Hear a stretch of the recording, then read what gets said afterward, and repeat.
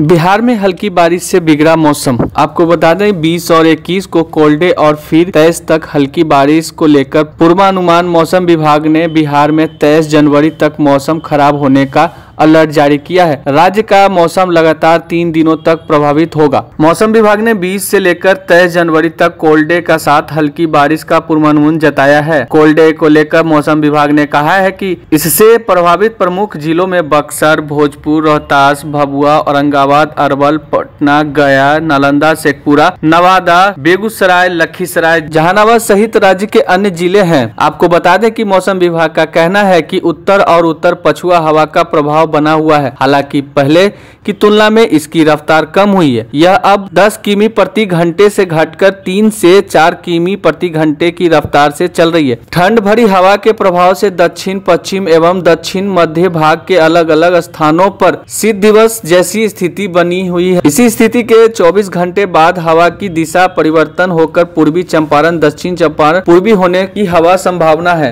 अगले दो दिनों के दौरान राज्य उत्तर, पश्चिम एवं दक्षिण, पश्चिम भाग के एक या दो स्थानों पर हल्की बारिश या बूंदा बूंदी होने का पूर्वानुमान है। आपको बता दें कि मौसम विभाग के मुताबिक 22 और 23 जनवरी को राज्य के पश्चिम एवं मध्य भाग के कुछ स्थानों पर गरज के साथ हल्की बारिश, वर्षा के साथ आकाशीय बिजली के चमकने का पूर्वानुमान है। मौसम विभाग के मुताबिक रात्रि के तापमान में अगले दो दिन, तीन दिनों के दौरान दो से तीन डिग्री तक की वृद्धि देखी जा सकती है। इस दौरान सुबह के समय हल्के से मध्यम स्तर का कोहरा छाने का भी aqui पूर्वानुमान है। हालाँकि इस बीच कनकनी में भी बढ़ोतरी देखने को मिल सकती है। सेहत को लेकर मौसम घातक हो सकता है। सांस रोगियों के और बच्चों के लिए मौसम काफ़ी खतरनाक है। आपको बता दें कि मौसम विभाग के मुताबिक 24 घंटे के दौरान मौसम में कोई बड़ा बदलाव नहीं देखने को मिला है। सबसे कम न्यूनतम तापमान 4.6 डिग्री गया में दर्ज किया गया है। इस दौरान राज्य के कुछ शहरों में शीत दिवस की स्थिति बनी रही है। इसमें प्रमुख रूप से पटना, गया, भागलपुर, पूर्णिया, दरभंगा, छपरा और मोतिहारी